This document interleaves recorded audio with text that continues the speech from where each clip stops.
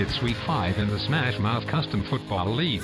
This week's matchup pits the Cleveland Rocks versus the Michigan Wolverines.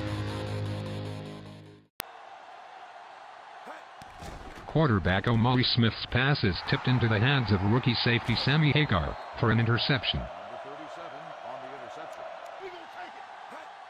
Rocks capitalize on the turnover with a 12-yard touchdown pass to receiver Blue Suede Shoes.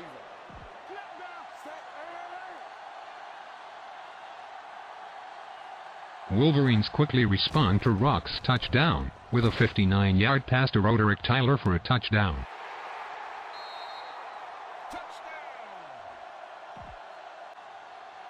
With time running out in the first half, Michigan moves to the two-yard line from a pass to tight end Michael Trotter.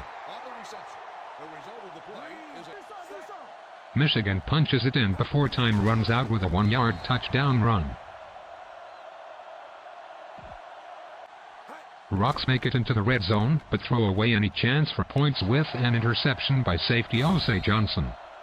Johnson makes the interception. 31-yard field goal try. Wolverines get a field goal off the turnover. The kick is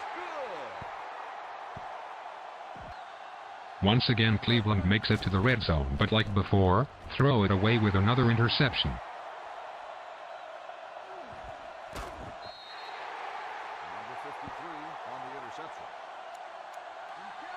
Cleveland Rocks go to 3 and 2 with a loss. Next up is the marvelous Elsier.